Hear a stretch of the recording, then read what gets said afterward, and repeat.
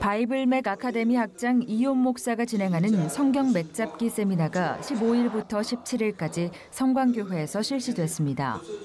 목회자와 평신도 등이 참여한 가운데 열린 세미나는 창세기에서 요한계시록까지 각 장의 지명과 인명, 사건 등을 알기 쉽게 설명해 성경 전체의 흐름을 파악하고 정리할 수 있도록 진행됐습니다.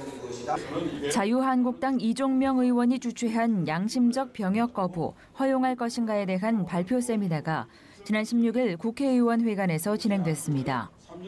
이종명 의원은 양심적 병역 거부 문제는 정치 논리나 이념 문제가 아닌 국가 안보의 틀 위에서 충분한 검토와 논의가 모색돼야 한다며 양심적 병역 거부자들의 주장은 자신의 권리만을 중시하고 남의 권리와 자유는 존중하지 않는 논리라고 지적했습니다.